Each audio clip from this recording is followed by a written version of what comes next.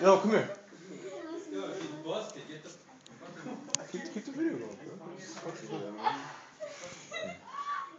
She knocked my shit over.